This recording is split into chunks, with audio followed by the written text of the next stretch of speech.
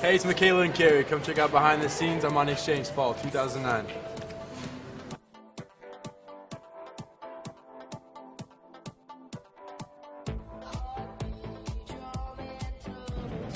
We're here, Brooklyn. Armani Exchange Fall 09.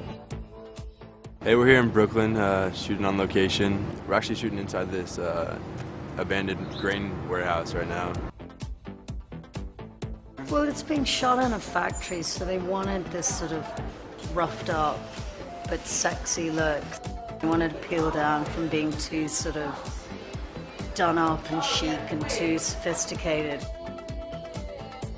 You know, today is really the fitting day to see actually how it looks on the cast.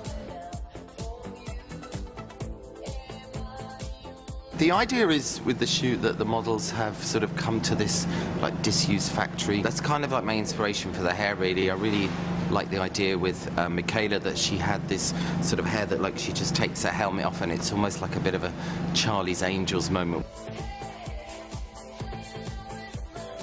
This season we decided that we wanted them to be really young and sexy and they wanted them to be tan. So we gave the girl a dark eye really bronze skin and the boys are really tan also. Darker than the Brazilian. That's a good day.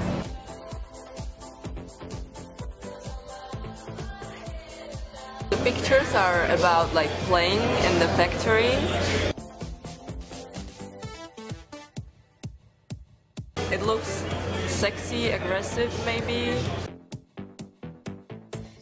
It was so funny this picture. I was like trying to pull his pullover and taking off his like unbuttoning his pants. Woo!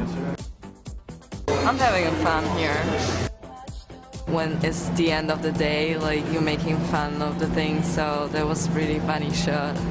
I couldn't really concentrate on it, so I was laughing. Oh, oh, oh, oh, oh. She's not going to be in this one.